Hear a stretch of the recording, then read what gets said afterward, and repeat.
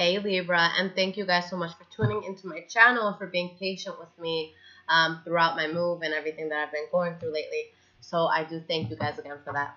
Now, um, I did want to get some readings out before August, so this is just going to be uh, in the now reading. Okay, so just a quick Celtic cross, see what's going on.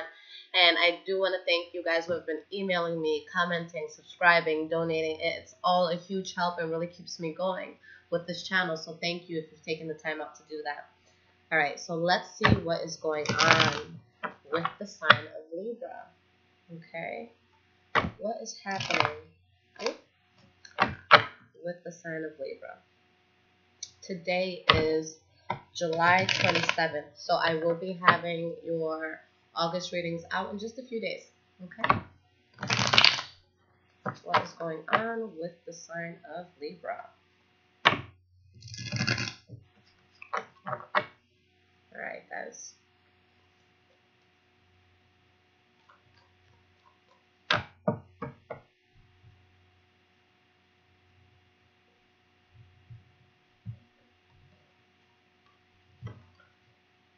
Okay.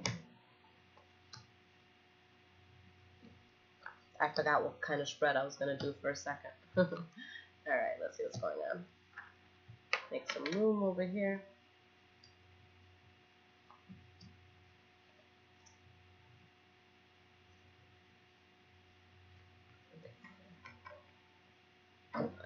I'm sorry, guys. Let me just adjust my stuff real quick. Here we go. Alright. Alright, so the energy for this reading is the Ten of Pentacles in the reverse. So you guys may be going through something where you're feeling a huge financial loss or you're just feeling a loss in general of resources. But um, I do see you being strong within this, you know, being emotionally stable within this. Excuse me, and there could have just been something that you were hoping you were going to get off the ground. And maybe you're dissatisfied with the fact you haven't been able to get it off the ground. But I do see you guys being strong and solid about it, but possibly just cutting out something that didn't work for you. All right, so let's see how this plays out. So you guys in the present moment is the Three of Pentacles. So the Three of Pentacles, it can mean a lot. You know, it could mean that you guys are in a place where you're trying to build with other partners in terms of business. It could be you just trying to communicate better with a partner or with a family member, but just trying to build. These are people who are coming together who all have, um, you know, the same the same goal in mind and they're going to work together to accomplish that in the best way possible and to possibly make everybody here feel more abundant. Now let's clarify this. Why is this Three of Pentacles here?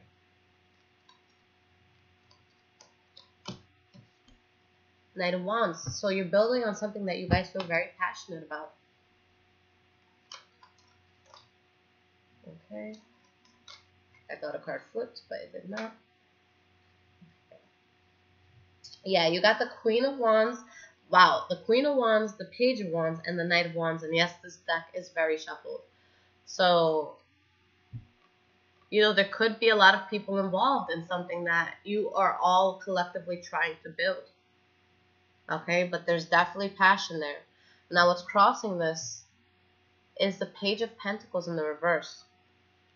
Now, with the Page of Pentacles in the reverse, it's like you're all working on this, you know, same end goal that you have.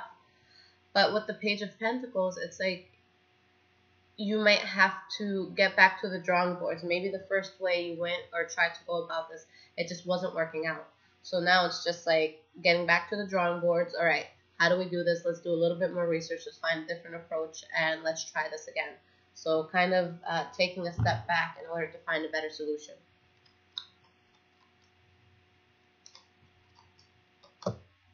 all right? And this could be causing a little bit of arguing, nothing too heavy. The Five of Wands is just like competition, struggle, bickering, pettiness,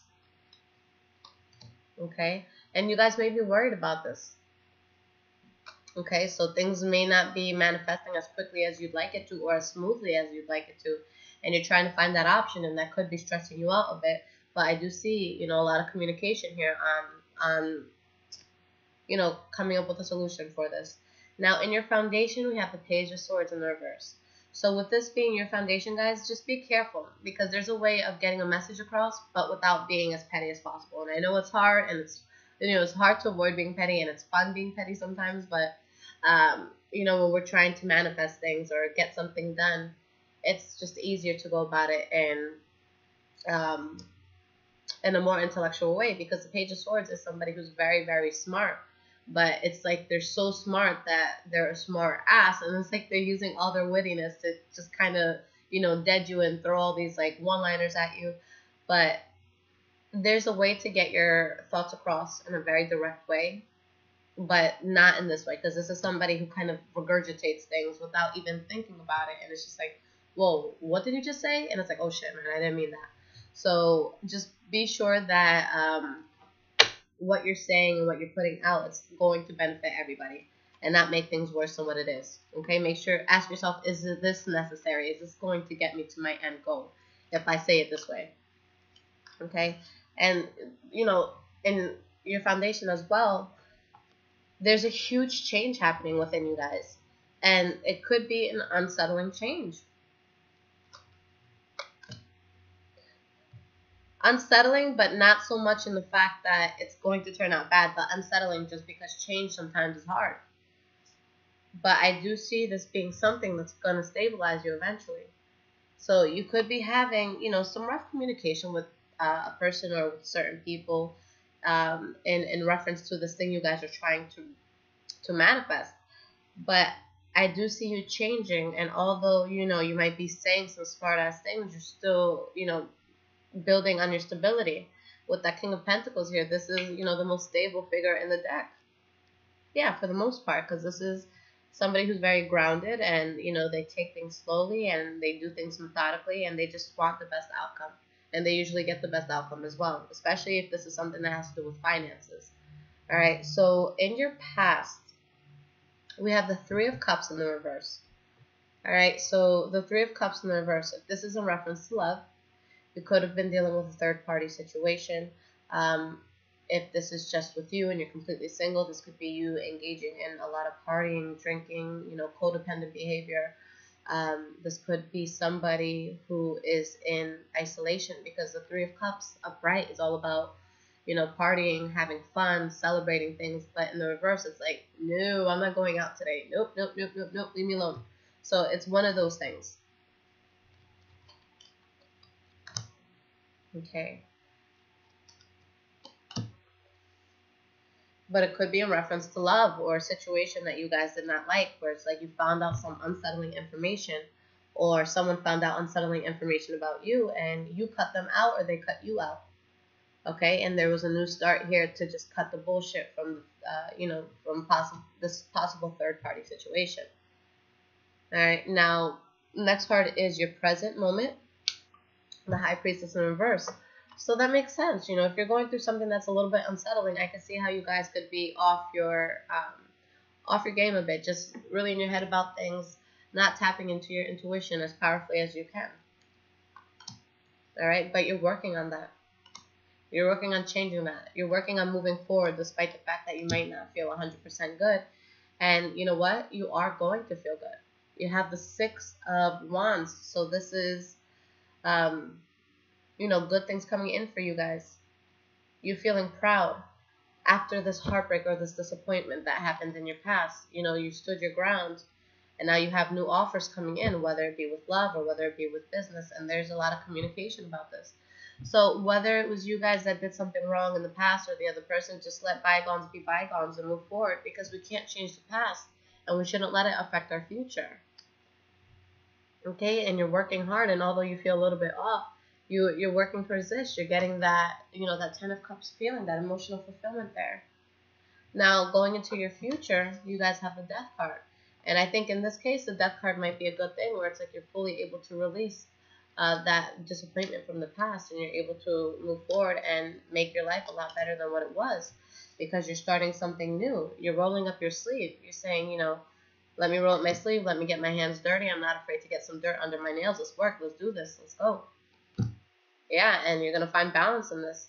You got uh, the Six of Pentacles at the bottom, and now you have the Temperance card, the Empress card, and the Death card. This is about ending something that just didn't serve you anymore, cutting out the dead weight, and starting something new that's going to be beautiful, okay? And that's going to make you balanced. Now, the next card you guys have here is yourself. The Hierophant, moving to higher ground, getting away from things that didn't serve you, um, being in a more socially acceptable place. So I see you guys really building within your power.